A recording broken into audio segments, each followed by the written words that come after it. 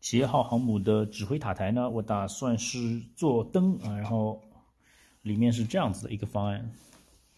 嗯，这里有一二三四五六七七个洞被我钻了，用一点八毫米的钻头马花钻钻了以后呢，我打算把这个灯啊，这个灯的其中一侧是发光面，发光面首先首先呢把它涂成绿色哈，然后因为我在参考的一些资料上面看到那个光线传出来是绿色的。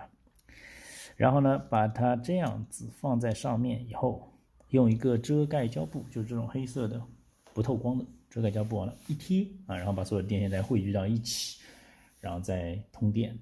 用的是三节五号电池，三点六伏特，这是一点二伏的充电电池。啊，然后我们最终来看效果如何。跟大家分享一个方法，我呢把这些贴片灯啊全部贴在了这个橡皮泥上面啊，蓝丁胶啊，然后呢。用牙签蘸上去，绿色。好了，就这样涂好了。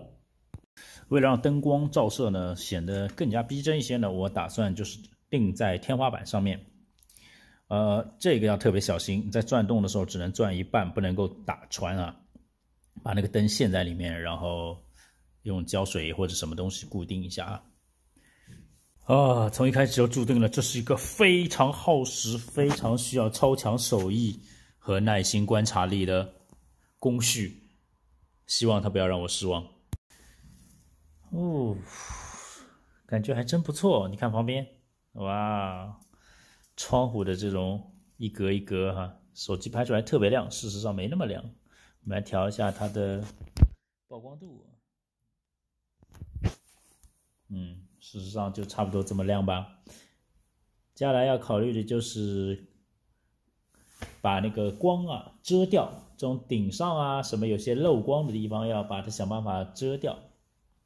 然后塔台的外侧呢也有几个探照灯要装一下，应该是四个探照灯吧，每个角上面装四个探照灯，这样的话看起来会更好看。哇，这种感觉真不错啊！哇。这个塔台哈，外部的探照灯加上塔台控制式的那种绿油油的灯，哇，效果效果太棒了，哇，非常期待这个航母的所有灯光工程全部完完成哈。我打算使用贴片灯，还有是光纤，就是那个飞行甲板上面嘛，那种灯你不能弄特别亮啊。甲板上面那种灯的话，星星点点就应该用光纤灯啊，就像我那坦克车那种红灯啊什么的。哇，太棒了，感觉。然后还有一些遮光啊，当然这个还不够完美呢，上面还有一些遮光遮光的部位，我还要遮一下。遮完以后呢，还要对它喷漆呢。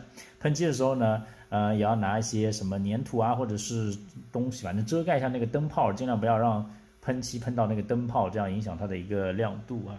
哇，哇，太帅了！哎，我感觉那个这个。天线这边啊，应该要做个朝上的一个射灯哈，能够体现这种天线的这种细节，也把它给搞出来。可能还要再装一个灯。我还要再跟你们讲一下这贴片灯的好处，就是你看这下面有很细的电线啊，这些电线可以，这些漆包线可以很方便的嵌入到零件的缝隙当中啊，就特别方便。所以要用漆包线啊，千万不能拿那种带皮的那种普通电线，那种的话空间太占空间了。即便如此，你看这气泡线这么多哈，把它搅起来也是费了好大的劲儿。好了，希望刚才的分享对你能有所帮助。啊，明天来的时候呢，应该胶水干了哈，上面还有三个灯，朝下朝下，这样天线的这些细节啊、轮廓啊，也可以被照亮照出来。好了，我是魏老师，我们下期节目再见。哇，总算在视频编辑完成之前啊。啊，把这个灯接上去啊，抢先看一下这个最终效果。到时候这个电线要隐藏起来，然后这里的夹子肯定要去掉的。哇，这效果真棒哈！拍出来还是有点偏亮啊。如果这样子，哎，曝光度调到最低啊，那这个就是我现在眼睛所看到比较接近的一个样子啊。哇，太漂亮了！